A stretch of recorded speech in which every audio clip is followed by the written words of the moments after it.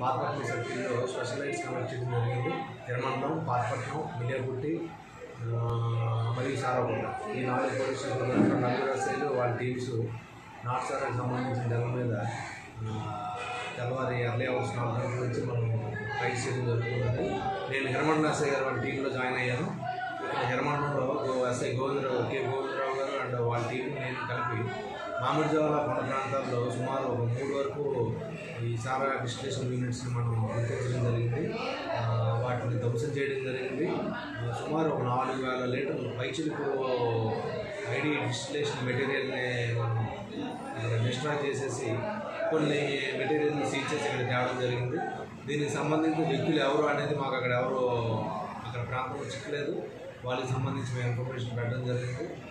తర్వాత తర్వాత వాళ్ళు వాళ్ళని కష్టంగా తీసుకొని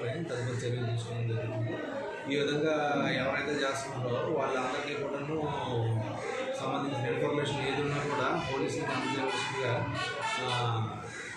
ప్రజలకి ఈ వీడియో గనక మీకు నచ్చినట్లయితే మా ఛానల్ను సబ్స్క్రైబ్ చేసి పక్కనే ఉన్న బెల్ బటన్ను నొక్కండి. మరిన్ని వార్తల కోసం ఎప్పటికప్పుడు మీకు సమాచారం అందిస్తాం. మా ఛానల్ సబ్స్క్రైబ్ చేసిన ప్రతి ఒక్కరికి మా ఏపీ స్పాట్ న్యూస్ ధన్యవాదములు.